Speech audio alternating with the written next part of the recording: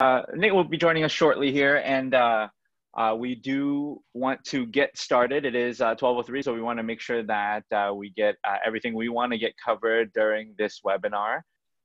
we are also streaming live now on Facebook, so if something that comes up, you miss it, it's already recorded on Facebook, and you can go back to access it. But first, let me welcome everyone. this is a webinar to talk about first-time home purchase. So it's a it's an exciting topic, both Alan, his team, Nikki and her team. This is a, and our team, of course, uh, is a topic that we really love talking about because there's so much education that goes on, right? Wouldn't you guys agree? It's it's a topic that I think we all enjoy very much, right? And yes, so definitely. yeah, and so I think yeah. Um, you know, for us, the the main thing about this topic is uh, not only uh, to talk about all the different pieces that go uh, are involved in the home purchase, the first time home purchase, but the education behind making you comfortable, making sure the numbers make sense for you, and then also from Alan and his team, understanding how the offers look like, right? What's the nuances there? So a lot of things that we would like to cover. Uh, so how we're gonna break up this webinar today, uh, first off is there's a Q&A box at the bottom. Uh, if you click on that uh, box, you're gonna be able to ask us questions live.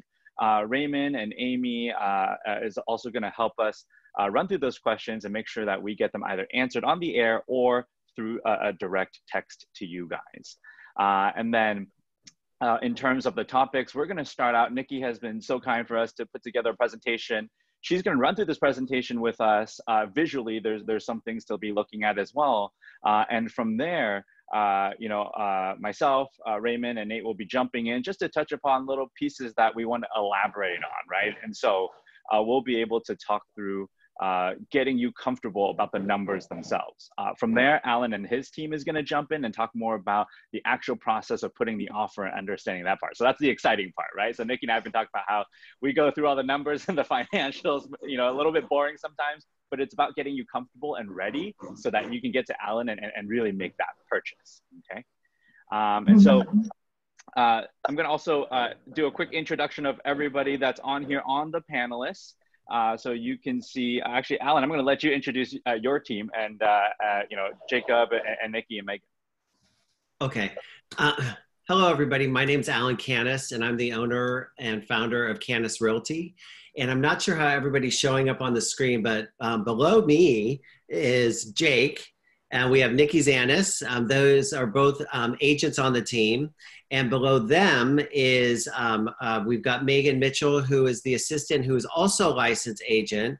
And then we have um, Amy Middleman, who is our director of marketing, who is also on the team. So welcome, everybody. Awesome. Say hello. Thanks for hello. yeah. we, we can hear you. It's okay. You can say so, hi. just so that back. everybody knows, um, uh, with them, every uh, even though we have a team, people don't get handed off to everybody on the team. Everybody works hand in hand to just ensure that our clients get the best results. And so that's how a team outperforms an individual. That's one of our mottos. A team outperforms an individual because we get you more. That's another motto. awesome. And then Nikki, why don't you give a little bit of introduction of uh, your little bit of background and, and so everyone gets to know you as well. Sure, I'm feeling like I need a motto, but I don't have a motto to start with. So, anyway, so hello, welcome everybody. Yes, I'm Nikki James. I'm with Opes Advisors, and I have been in the lending industry for many years. I funded my first loan in the early 90s and seen lots of different markets. This is a phenomenal market to buy. When I started, we have interest rates at 9.875. So, um, anyway, nice to meet you all. I'll be going through some slides here in a second, but uh, look forward to to teaching awesome. you. I'm very passionate about education. Yeah, and so um, we're going to get started uh, for on my end. Just I, we always start the webinars with a slight market update, uh, and, and I'm talking the, the, the the capital markets, the stock markets. Uh, I'm not going to go into too much detail, but I think the surprising thing for everybody is how quickly the markets have recovered. So uh, in our previous webinar series, I was talking about if you haven't looked at your account recently because you're scared, you might want to go back and take a look and realize that it doesn't look that bad in most cases. And so there are a lot of different sectors of the market, especially in the US, that are really positive at the moment. It's like the growth sector. A lot of the tech companies are, are fairly uh, uh, uh S&P 500, so the 500 biggest companies in the U.S., uh, you know, as of last week, it started to break even. We saw a little bit of a dip. There were some, you know, worries of coronavirus cases going back up, but having said that, we're actually uh, not in a bad place. Surprisingly, I think for a lot of people, and, and to be seen if we see uh, more volatility. I think our, our opinion is that there's definitely going to be more volatility, but relative to the house purchase right now, right? I mean, if your assets are invested, your down payment is invested, hopefully not too aggressively, that's something that you should go back and take a look and say, hey, maybe I can uh, not be so worried about taking the money out of the market to make this home purchase because that's a long-term goal that you want to achieve. Okay, um, and so if that's a, a, a you know concern of uh, for clients about when to take some money out, how to do so. We always recommend if you're thinking about a purchase in the next six to 12 months, it's probably best that you don't have your money in the market right now because it's too short of a time. Again, outside of what's going on exactly today, it's just too short of a time to take some market risk. Okay, awesome. So then uh, Nikki, why don't you get us started, uh, have your screen uh, shared with the presentation and, and, and start walking us through kind of the way that you uh, think about uh, the, the numbers and, and understanding the um, you know, qualifications for getting into a home. Absolutely. And hang on. All right, sorry about that. I think you guys had a picture of my my my daughter there. anyway, I gotta figure out how not to do that. Sorry, guys. All right. Um, so yes, um, hello and welcome, and here we go. So I'm going to give, um, you know, I'm going to go into some detail. I can go into a lot more detail. I'm going to try and keep it somewhat high level, but just to start to orient you to when you're thinking about buying a house, it's sort of like, well, where do I start? Where do I go? Who do I go to? So I thought this was important to just cover that in the world of lending, there's three kind of main distinctions for institutions that you will hear of. So you may hear of a friend say, I went to Wells Fargo or Chase or um, DiversiFi Capital or guaranteed rate or, you know, where do all of these fit? Why would I go to one versus another? So there's three distinctions. Retail lending, retail banking is your Wells, Chase, B of A, the big banks that you've heard of.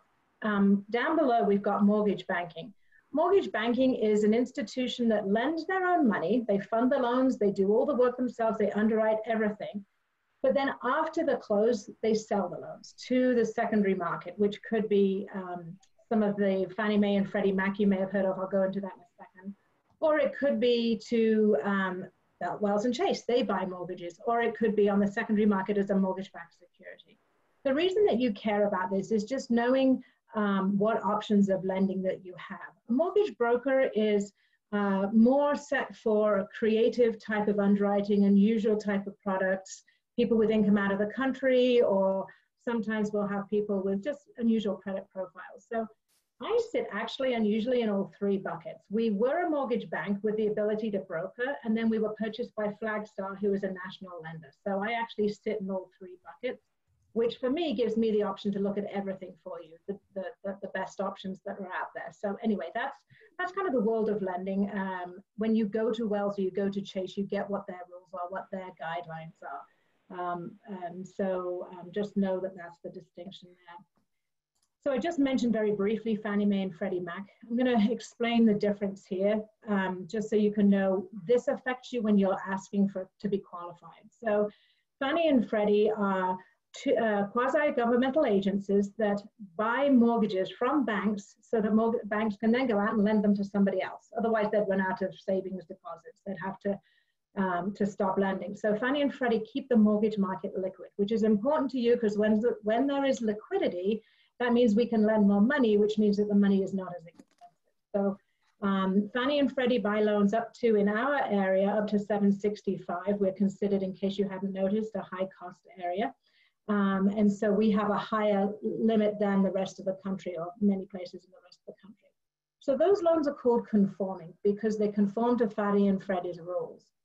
When we go above 765, we get into call, what we call non-conforming, which is they don't conform to Fannie and Freddie's rules, or jumbo. Those are the two terms you'll hear. It's the same thing. The jumbo bucket, um, those loans do get sold, but they get sold on the secondary market, as I said earlier, as either mortgage-backed securities or to some of the big banks that actually buy mortgages to hold. So when I'm working in my mortgage banking capacity on a non-conforming loan, my bank sometimes securitizes them, packages them as a nice little bow on them and sells them on Wall Street.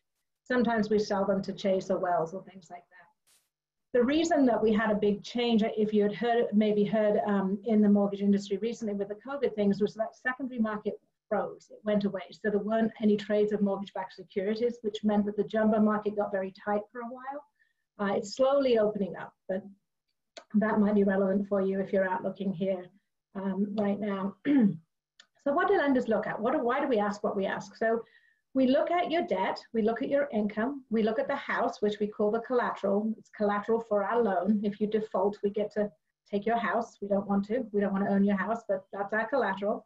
Um, we look at credit. So we look at your depth of credit, um, which is where we're looking at your debt. How much have you borrowed in the past? I recently had a client who came to me and she had one credit card for 300 and that was all she had ever borrowed and she was so proud of herself. And i said okay and you want to borrow a million dollars and you've only ever shown me you can pay back 300 bucks that was tough. Um, i'll talk more about that when we get into that section. And then we look at your assets. How much money do you have saved for not only the down payment but closing costs and reserves? So i'll go through that each each one of these five here a bit more. We'll drill in a bit more detail so credit and depth um, and debt. Uh, the depth of credit, like I said, is really important. So most people focus on scores. Everybody knows, oh, I have a great credit score. Just know that your mortgage credit score might be lower than your, you'll see on Credit Karma because we have a different calculation. It's a bit more strict because we're borrowing, we're lending you a lot more money. A mortgage is pretty much the largest thing you'll borrow. Um, so to get the best score, overall, if you have um, three credit cards with a thousand dollar balance on each, and each one of them has a limit of three thousand, that's great. You're under a third utilization.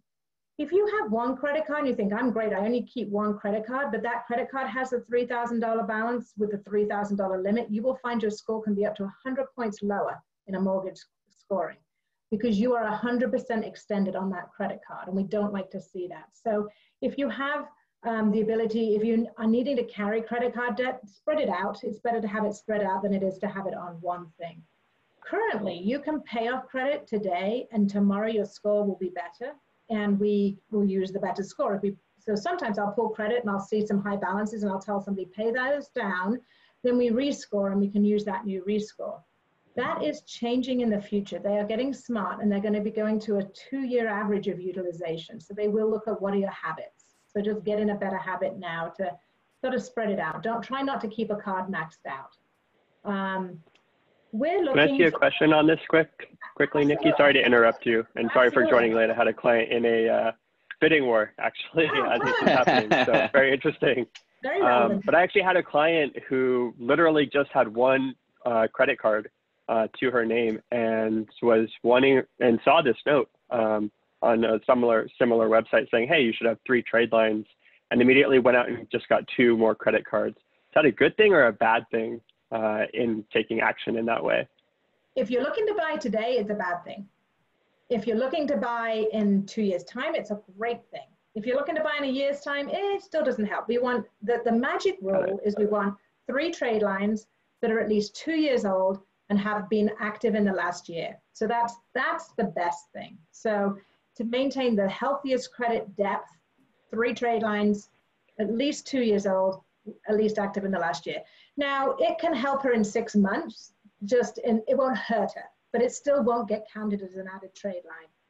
So great question there. Got it. So, I have another, uh, oh, yeah, I have another question, Nikki. Uh, it, uh, I've seen in the past where if somebody pays off the card, it takes some time to update. And I think you were saying that it gets like um, like you guys see it immediately? Is it you guys still because uh, i see some credit scores take some time to update right themselves and so yeah. how does the timing work on paying it out? So organically it can be up to 30 days two weeks to 30 days. It used to be that we actually sent in that this is i'm going aging myself they sent in the actual tapes you know each month to the credit agencies. That was the way it was done. Of course now it's online it's a lot faster but it can take longer but what we can do is what's called a rapid rescore. So as a lender, we can go in, we can take your statement showing a zero balance, we can go in and we can rescore the credit with the new balance. So that is immediate. It's like, you know, it takes us 24 hours to pull those. We can also do credit simulations. So once we've pulled your credit score, if we're seeing there's an issue, we can say, well, what if we paid off that? How much does it increase the score? Or what if we, you know, did this? What does it increase the score? So we can play around to tell you exactly what you need to do to get wherever we need to get the Awesome. Yeah. Thank you so much. And yeah, Nick, yeah. one more thing. Correct me if I'm wrong on this as well, or um, you also don't want your credit cards to be 51% over their balance, correct?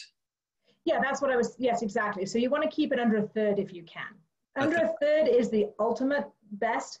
Under a half is better, and don't go over a half. And you can keep those balances rolling, correct? yeah, yeah. Yeah, I mean, managing debt is okay. We don't mind if somebody's managing their debt. They're paying it on time and they're keeping the balance low. So, you know, don't freak out about having a balance other than the fact that you have to pay interest on it. And there are Yeah. financial, wonderful financial people here. I'll tell you don't do that, but because it's not, you know, you don't want to pay high interest. But yes, in terms of rolling, uh, uh, that doesn't matter to your score. You just want to keep it under a third if you can. Gotcha. Um, and let's see, um, collections are nasty. They, I just, I have a client right now who just has a hundred and she's a doctor, bless her heart, and she has a hundred and fifteen dollar medical bill. They are the worst. Medical bills are the worst. They go to they go to collection fast, but they did change the rules where even if you go to collection, you have 90 days before they were now reported on your credit report. So just pay attention to those. If you're waiting for the insurance to come through and you've got, you know, you just want to make sure, just pay attention. And if you get that collection word in anything, call them up and pay it right away. It is not worth fighting over a hundred dollar bill that you don't think you own, that you owe, to then go and end up having a credit score that on your mortgage you're ending up paying a half or a full point higher interest rate on that entire balance because you fought over that hundred dollars. So just you Yeah. know, watch those. and it's worth spending some time on this because the credit score does affect the pricing and it ultimately affects the, the affordability. Um, and so I think a lot of you know clients have questions around this. Um, and one actually came through asking, is it three trade lines per individual or per couple if they're filing together or, or, or applying together? Great question. It's a great question. So it's actually per individual. So sometimes we will take somebody off the loan application if they're hurting the, the credit depth. So we do that frequently. If their income isn't sufficient or doesn't matter, we don't need their income, sometimes we'll take them off. You can buy a house and both be on the title, but one of you could not be on the loan. So it's both of you.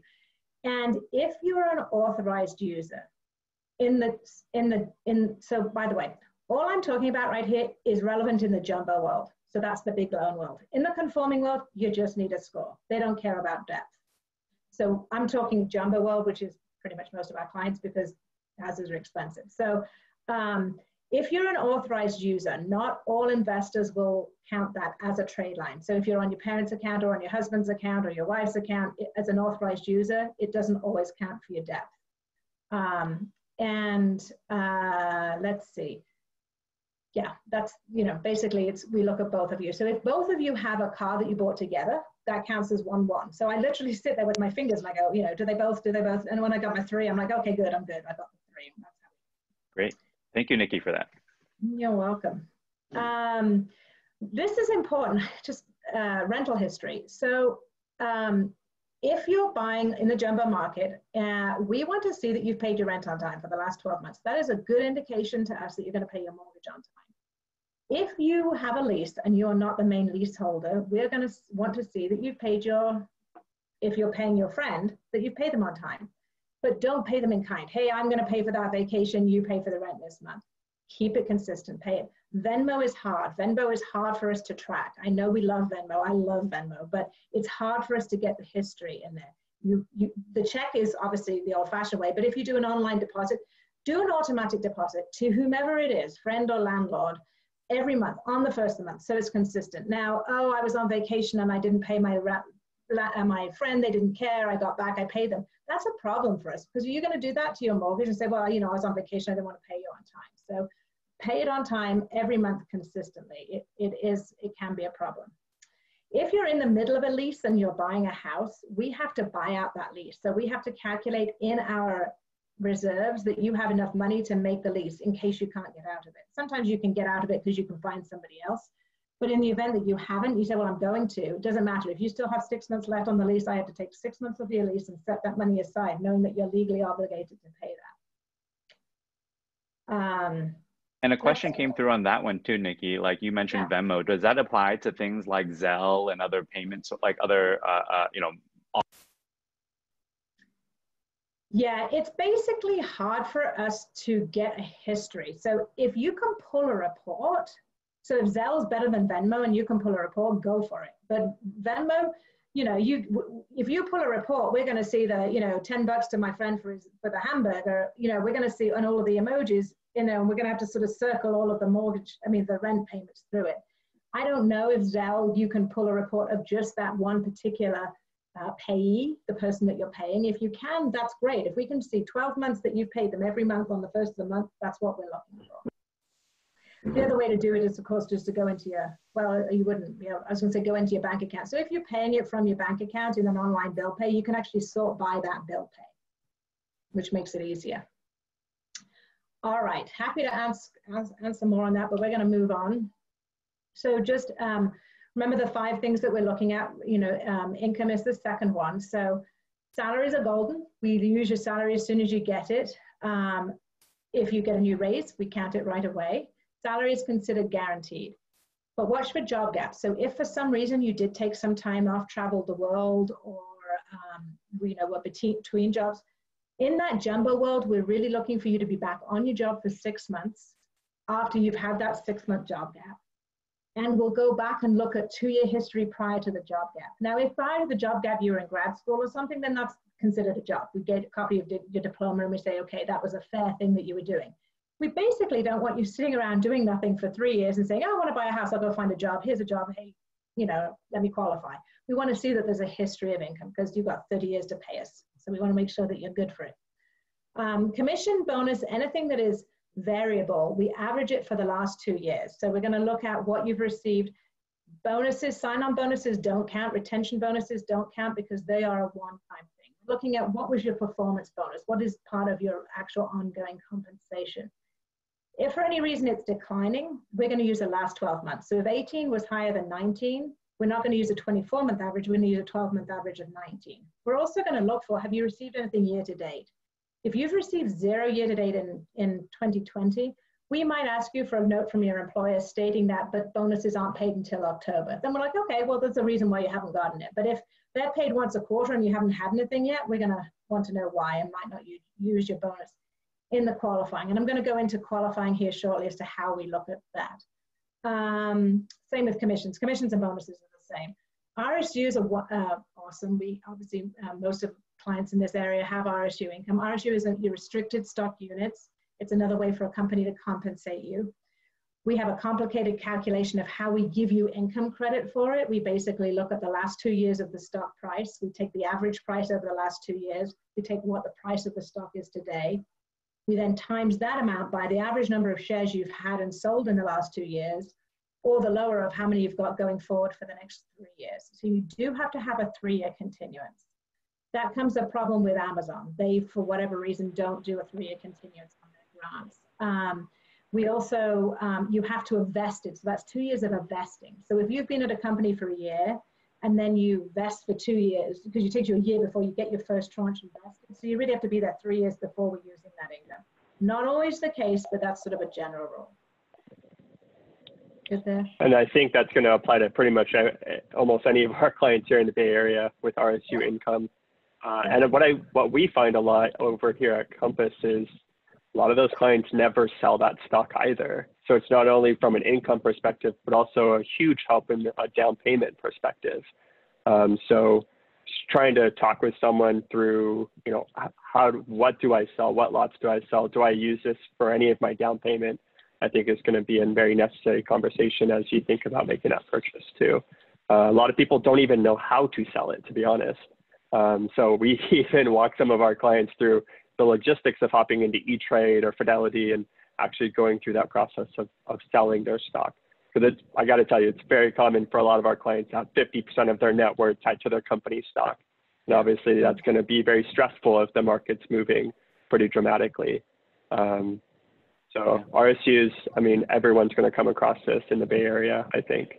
Yeah. yeah. And, and, and another thing to add to that too would be just watch out for blackout windows, right? Because if we're thinking about buying over the next six to 12 months and you're in a blackout window and you haven't sold, that could be an issue in getting that income towards that down payment, right? And so uh, that's something that we can work with you guys, uh, our clients about in talking through that. But, but again, those that are not our clients, just think about, look up what your blackout window is and make sure that the timing is, is adequate for you to be able to liquidate your stock.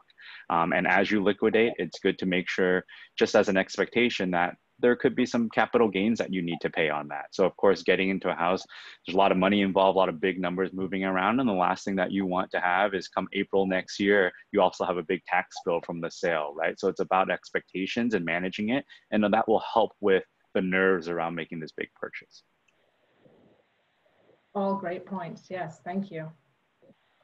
All right, moving on to assets. So basically, we're looking for enough money to cover the down payment, the reserves, which is what you have left over after the close, and the closing costs. So I'll go through those in a little while, but um, basically uh, in the jumbo market, six months reserves is what we need. So we look at your savings, your stocks. We do, we don't, this is crazy. I don't know when we're going to get wise to this, but we don't, we don't actually take into account that cap gains that you were just talking about. So I'll look at an account I know. So I'm looking at it going, yeah, we don't really have, you know, 500,000 available. We maybe have 300,000 available.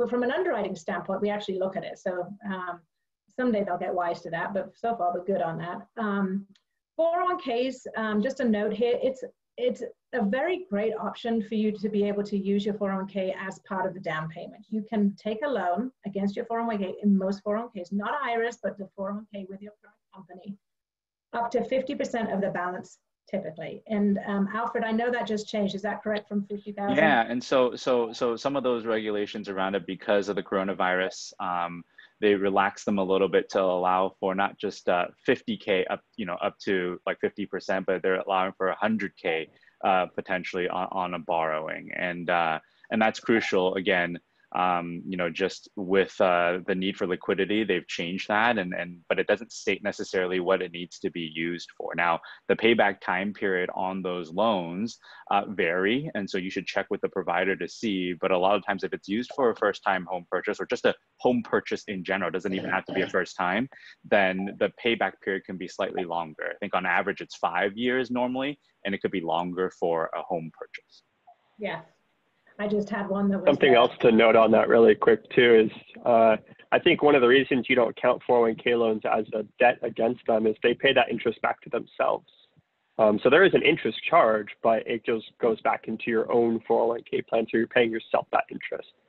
That's a pretty cool plan uh, available to you. This is really making a difference for quite a few home buyers that I'm working with as well. Mm-hmm. yeah. Yeah. It's a great way to leverage your savings that you're not going to need for many, many years um, without taking the tax hit. You've put it away pre-tax and you're not going to pay a penalty on it.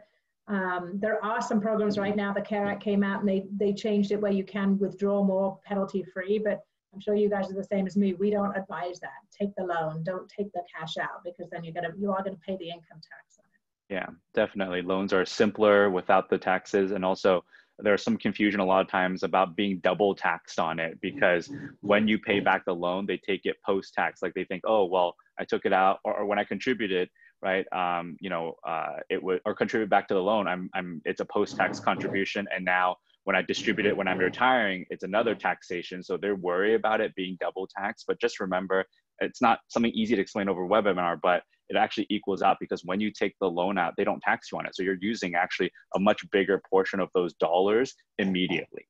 Mm-hmm. Awesome. Just a quick bullet point there: cryptocurrency must be sold. We can't you, we, you can't um, use it as reserves and have it sit there. We're seeing more of that. Super fun. All right. Interesting that there's even regulation guidance on it now. I know, yeah, that changed. At first, when it came out, you know, the underwriters were like, "What is this? It's hocus, yeah, hocus pocus, right. funny money." And I'm like, "Oh, okay, maybe it's real." Yeah, yeah. I had some guy who had about a million that he had put away. I don't know, it was ridiculous, like eight hundred dollars or something, right at the beginning. Very smart guy. Fortunately, I didn't know him early enough. anyway, um, moving on. So cash required. So down payments in the small loans, those conforming loans, you can go as low as three and a half percent. that would be a loan called an FHA loan, which is a government loan, Federal Housing Administration. Most clients in this area probably, excuse me, aren't going to be um, in that bucket. But if you are, it's a great way to put low down payment on a house. Uh, there are some downsides to it, which we would go into, but it's an option. In the jumbo world, we're mostly looking for 10% down. We have a special program that we call our community loan at Flagstar because we're in a high cost area. We actually have a 10% down loan up to a million and a half loan amount with no mortgage insurance, which I'll go into in a while. So it, It just, and it has low reserve requirements. So the problem is, is many of the loans that allow low down payments then require a high reserve, what you've got left over after the close. And the, the comment is, well, if I had the money, I'd just put it in the house. You know, there is, you know, needing to have those reserves is challenging. So our particular 10% down on their um, portfolio product is, um, it does allow that uh, low down payment without the high reserves. So reserves conforming, we're just looking for two months. But in the jumbo, well, most of it is six months. Um, each lender has a different rule. For example, Chase um, is more flexible on reserves versus Wells requires six months of um, half of the reserves to be in your non-retirement and half can be in retirement, whereas Chase allows it all to be in retirement. So we're always looking for what bucket do you fit in. You know, if you if you if you don't have that limitation, then we're just going to look for the lowest rate. But some people might be wiping out everything that's liquid and have nothing left except 401k reserves. So then we would have to look at a, a specific loan product. Just as a note, when you take that 401k loan out, we do have to deduct that from the amount available clearly for reserves. Um, closing costs, the top right there. Budget from 1.5 of the loan amount, that's going to be high and it's not all cost, but it's cash flow. So when you buy a house, you not only have to put the down payment down, you have to pay the closing costs, which um, this webinar is not long enough for me to go into detail on that, but basically there's escrow and title fees, there's county fees, there's transfer taxes, there's recording fees. Those are more like probably 0.8%. But from a cash flow perspective, depending on when you're buying, you may have property taxes that are due if the seller's already paid in the installment that you're in. Um, there may be, um, you'll have your full year of fire insurance and you'll also have interest to pay through the month. Um, so just from a cash flow perspective, one and a half percent is a good kind of average.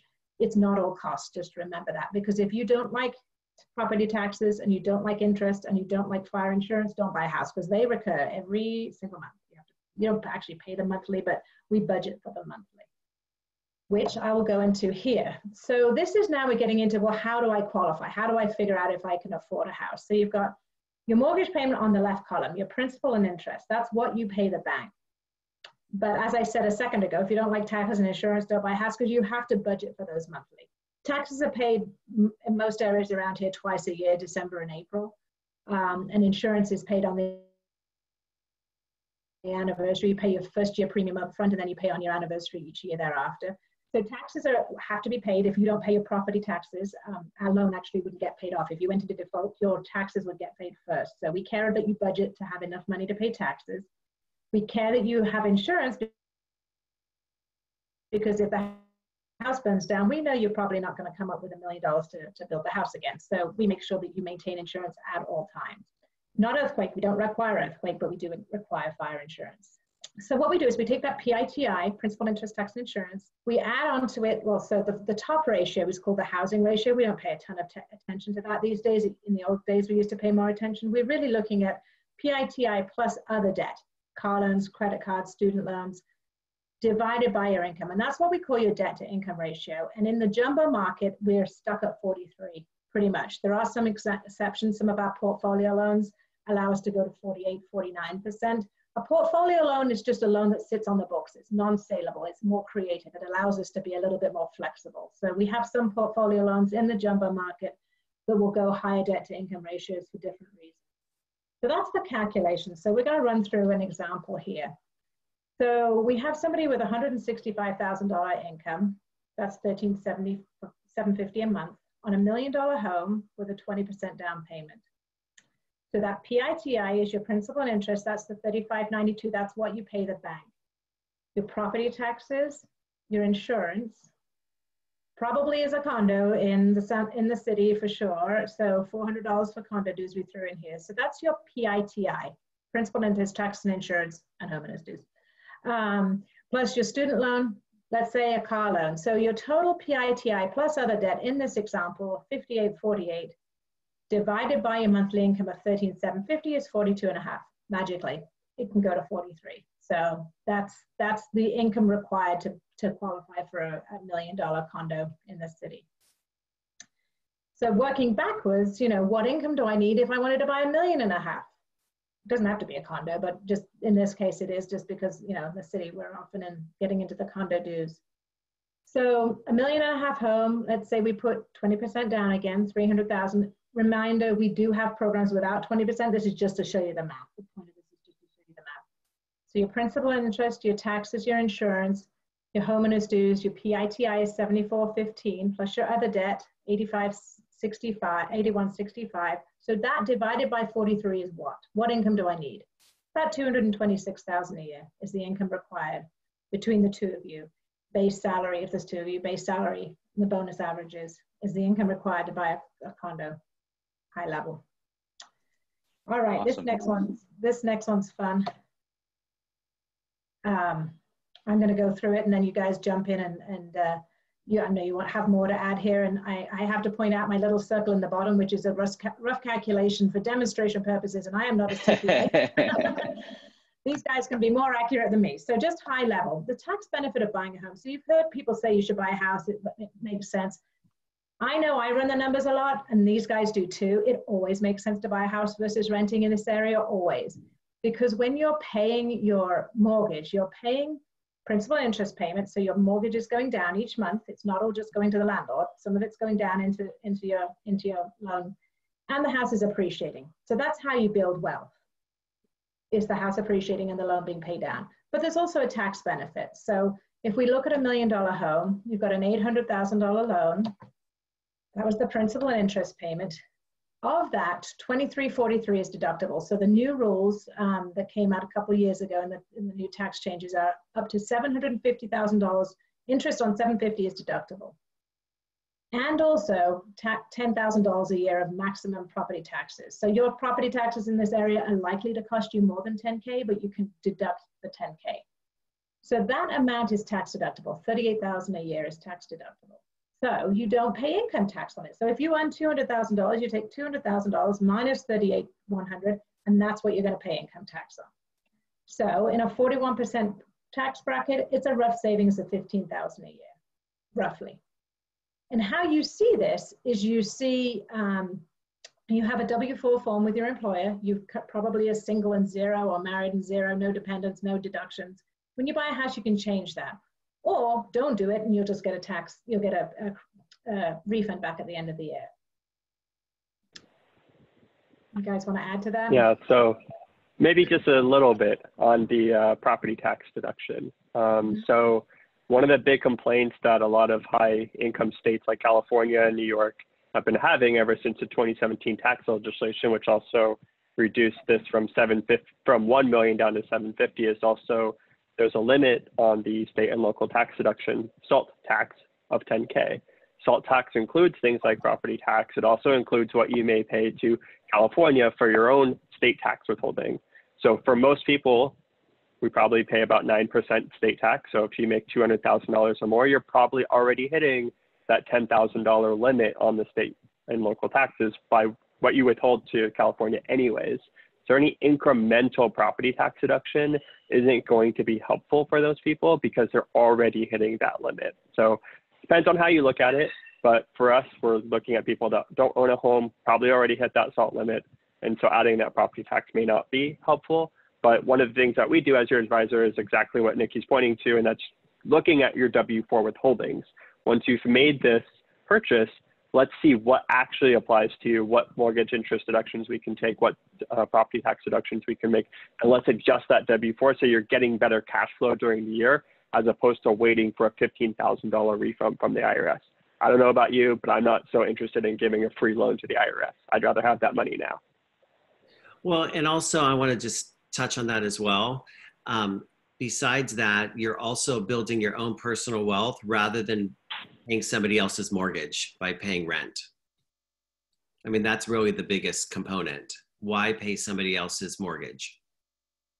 Yeah, I think that's huge, right? To remember that, I mean, yes, uh, there are costs on both sides. Like we evaluate that and go through that. Yes, renting has the sunken cost, buying your home, right? Part of it is sunken costs, right? Like the interest, right? Some of those costs isn't something you would have had if you continued renting. But to, I think all of the panelists' point right here is that over time. And I mean, this isn't a two year purchase, it's not a three year purchase, right? If you think about it a little bit more long term, and Alan has said it before, at first homes are average on six to seven years. I mean, through that time, you have an ability to grow that uh, equity and it's also leverage. You're borrowing the bank's money to grow it. And so that is a huge, huge multiplier in terms of building worth because if you put down 20% and the house goes up, that's a five times multiplier because you borrowed 80% from the bank, but you get 100% of what grows, right? The, the bank isn't the one that gets the gains. You just have to pay them the mortgage. And so that multiplier is, I think, why you know people are so attracted to real estate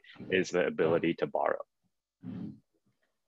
The other thing I'll just add real quickly here is um, also when you're looking at taking $200,000 out of your savings and buying a house, when you do buy anything else, go on vacation, buy a car, you kind of are spending the money and it's gone. But when you're buying a house, you're just moving it along your balance sheet into a different bucket called home equity, but your net worth stays the same.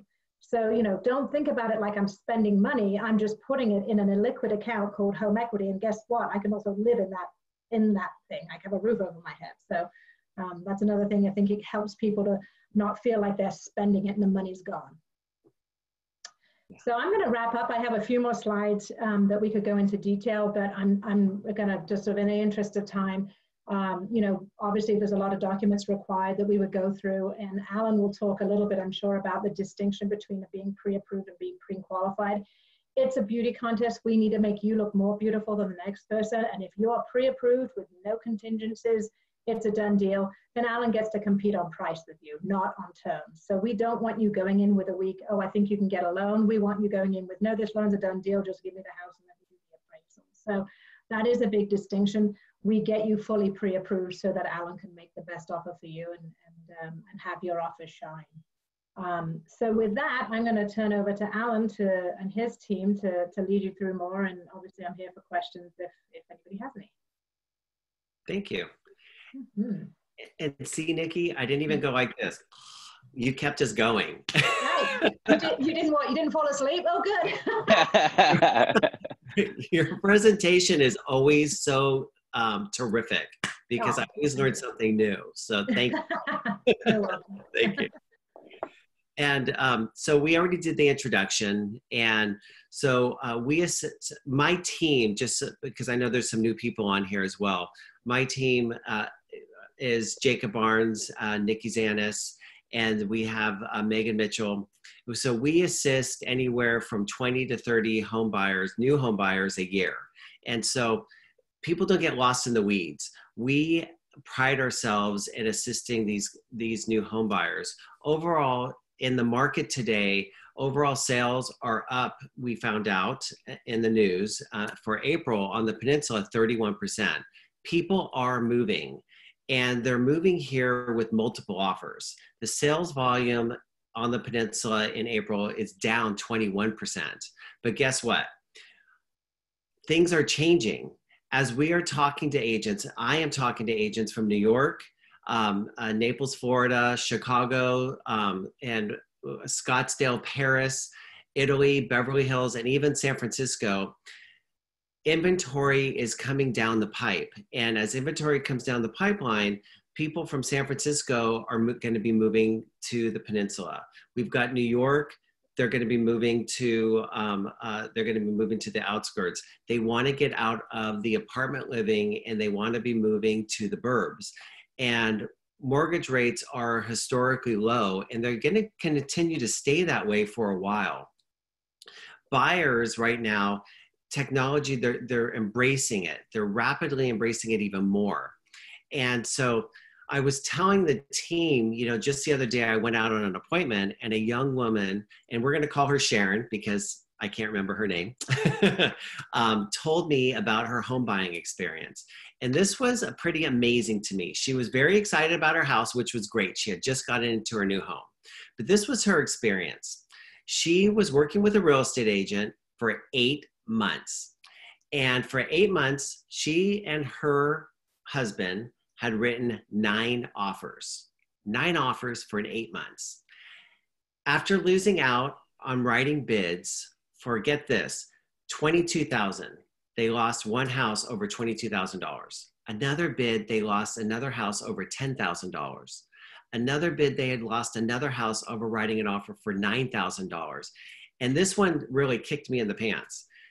$5,000 they lost a bid over a house. And she talked about how great her agent was and how her agent stuck with them. Her agent stuck with them through the process. And she didn't even realize that um, she was assisting driving up the market because writing all of these offers, she was driving up the market. She had missed out on eight homes and she continued paying someone else's mortgage for all of those months. And she was actually living the definition of insanity by doing the same thing over and over again. So the interesting thing is, um, I, I do things by telling stories. And so we meet, my team and I, what we do is we meet with we, buyers, uh, first time home buyers. And actually, when I started out in real estate, one of my favorite things to do was to meet with first time homebuyers. Um, my husband and I, we have owned many homes, and I had the joy of meeting, starting with my business, is starting out with first time homebuyers. And that's how I started my business was worth working with homebuyers and first time homebuyers. And what what I did was I created a home buyer presentation. And in that home buyer presentation, we created a buyer booklet. Yes, we have a buyer booklet. And what we do is we talk about how we assist home, home buyers with um, finding the right area for buyers. Because what we do is we, we know the nooks and crannies of the neighborhoods and making sure that they're happy with the areas and we go over these areas with buyers. We also go over the processes of writing offers and we go over what the expectations are going to be. And so I'm not going to go over the whole buyer booklet, but what I'm going to do is I'm going to talk to you about the actual writing process of, a, of an offer just very briefly. So when we meet with um, buyers, so it'll either be Nikki or myself, or it'll be um, Jake or myself, and maybe Megan will be there. And then also um, Nikki James may be there on a Zoom call. And so what we do is we we go over the process so that you are not Sharon. That's the that's the whole um, uh, the whole idea behind this. So, like for instance, what Sharon went through is um, she found her first home, and it was probably her dream home. This first home, and this was their home. They will review all the disclosures, and in the disclosures will include the inspections, will include seller's reports, will include everything about the house that the seller had to say about the house. Unfortunately, the buyers aren't really trusting, like Sharon wasn't really trusting in the process 100%. And unfortunately, she wasn't, they weren't trusting in the loan process. They didn't trust that um, they were fully pre-approved through underwriting. They were they were probably maybe um, they um, uh, they weren't trusting in the uh, appraisal process, and they but this is what they were doing. They were agonizing on writing their first offer, and they were agonizing on price. And when the time came to write their offer, they were agonizing over the contingencies. And what a contingency is, it's a safeguard that allows time for a buyer to renegoti- renegotiate if a house doesn't qualify 100%, um, whether it be on an appraisal, if a house doesn't appraise when you're writing an offer. And an appraisal is really what a, a bank says that a house is worth. That's not really, and that, that, that is a true, that is a misconception on what a value of a house is because the true value of a house is what a buyer is willing to pay for it. And then there's the loan contingency. If a buyer is pre approved through underwriting, there may not be the need of a contingency. And that's where Nikki comes in and she will advise if if they if a contingency is really needed and that's where you have to trust in the process and then there's the property contingency. If there's inspections on the house, and that mean that means a property inspection, a pest inspection, a roof inspection, a chimney inspection, there may not be the need to actually have a um, an actual contingency process at that point.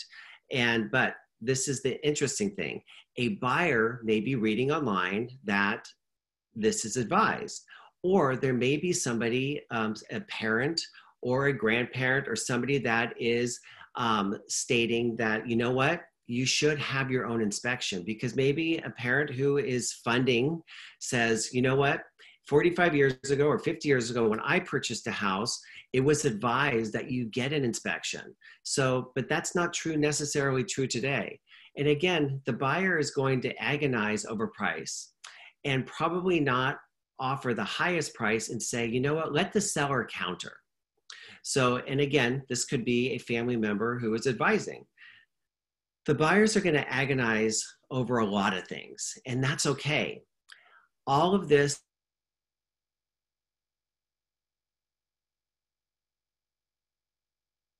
Did Alan freeze up? Looks like it. Yep. Alan froze. Yep. He's cute, Frozen. Hills, it's Hillsborough. Nikki, Uh, you want to jump in for him? You So- guys, Nikki Jake, go or ahead. Jake? Yeah, I can jump in if he's completely out. We're well. Let's did I unfreeze? there you are. I hear him now. Did I unfreeze? Yeah, there you Yes. go. There you Ah. Okay. Where did I leave off? Um, let's see. You were. Uh, uh, Contingencies. yeah, you were. You were on contingencies and talking about how we don't. You were a little bit past. Uh, we don't always need them. Um, Okay.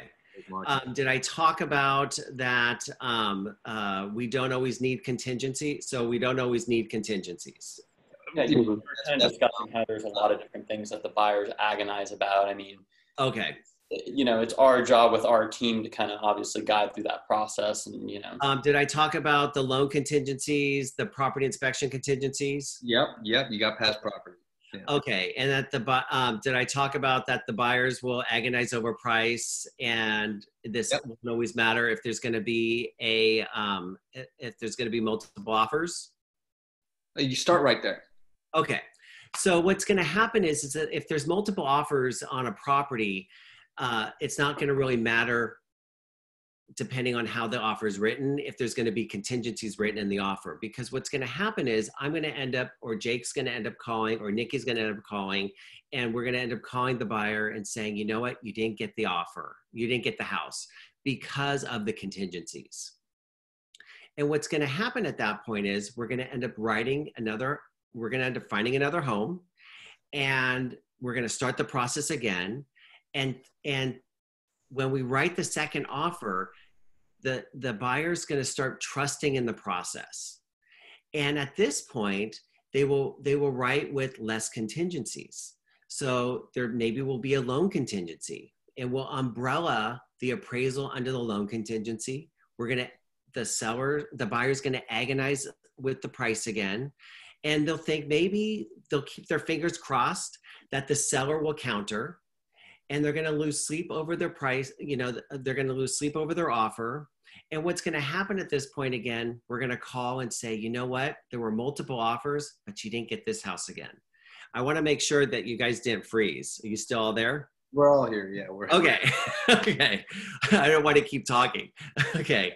So and what transpires at this point is the buyers are starting to um, they're starting to trust in the process and so like sharon started to also get a little discouraged because now with sharon she had written eight offers. That was a lot of offers to have written.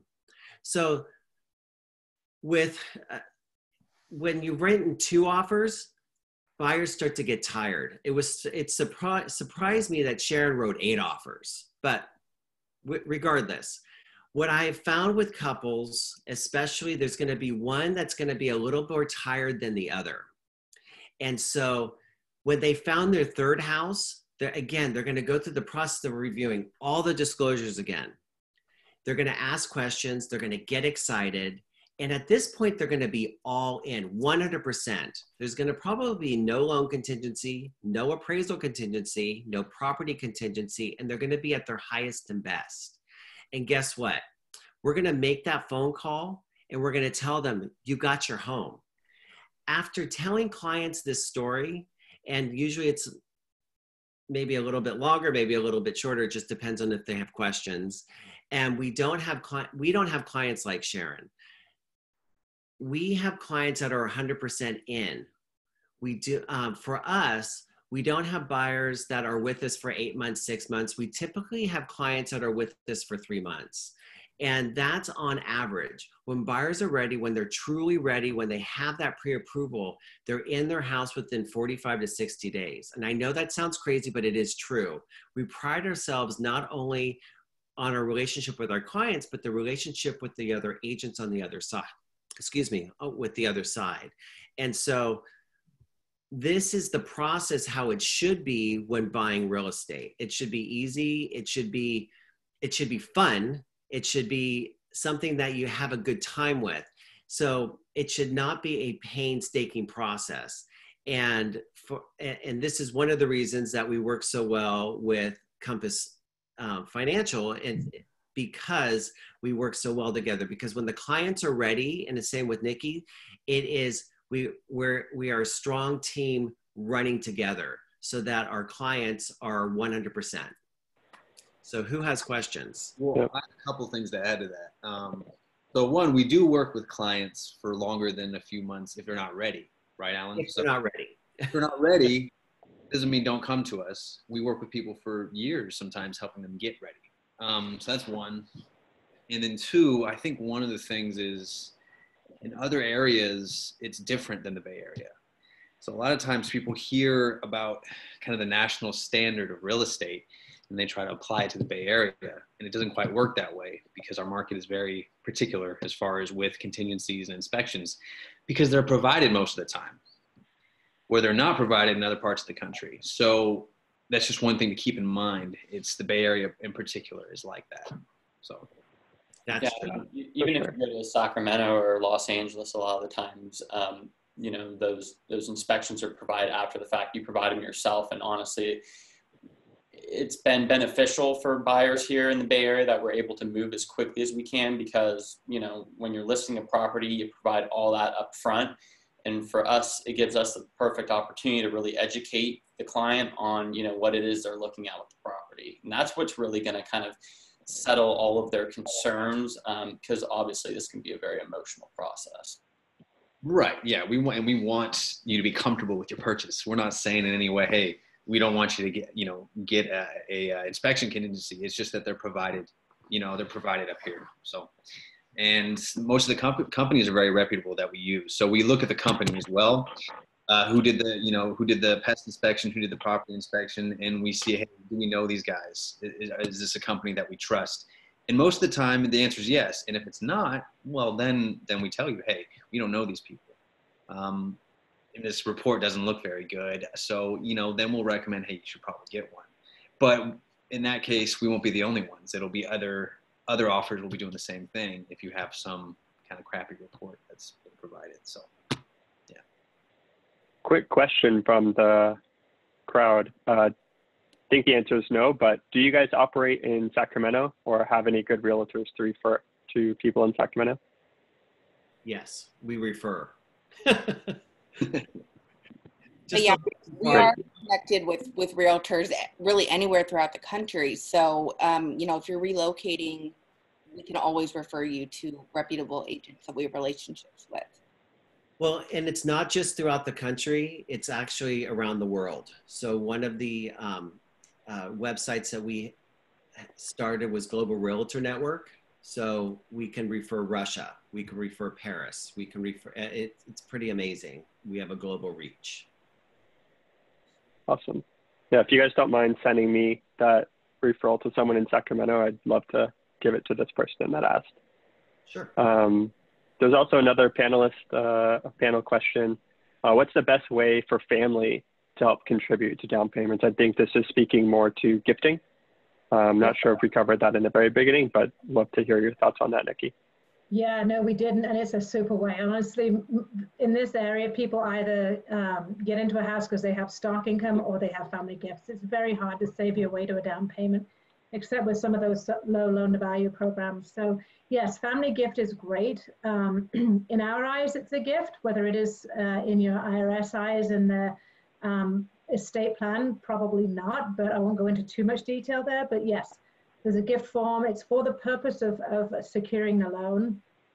And um, it's a great way to, to get to a different price range. Um, you can use, you know, a family's equity line. If they have an equity line on their home, they don't have to liquidate the cash to do it, but it is a great, great way to help with down payment. Interesting. Actually didn't know about that HELOC option. That's, that's awesome. Yeah. Yeah. So I think we're getting close to the hour. Um, so just want to be mindful of everyone's time. Uh, I'll just conclude with my last comment, and, and that's what Alan and Jake and Nikki all touched on. This is a very emotional process. Uh, you're going to see a home. You're going to start building your life in that home before you even get that accepted offer. Um, so I think Alan's you know story around being fully committed so you don't run into that disappointment is very very important. At the same time, we also on our end, Alfred and Ray and mine, we get a lot of clients trying to time the market. They treat it like a stock. Uh, my response to that is if you get into a payment schedule that is uh, comfortable for your budget and you get into a home that you love, who cares about timing the market? I mean, if, if we're thinking about this as a seven plus year horizon, we're going to make money over time. Uh, I bought my home in San Francisco in 2018. I don't have a gain in mine yet, but guess what? I love my home in San Francisco. Um, so I don't think timing the market with real estate is as important as it may seem. It's not buying Apple stock. Uh, it's buying a lifestyle for yourself. Um, so keep that in mind and uh, hope everyone, you know, enjoyed this webinar and found it informational. Uh, definitely feel free to reach out to, to us at Compass, Alan's team and Nikki. Uh, we're all here to help you. So thank you everyone for joining us today and I look forward to the next one with you all. Thank you. Thank you guys. Thanks.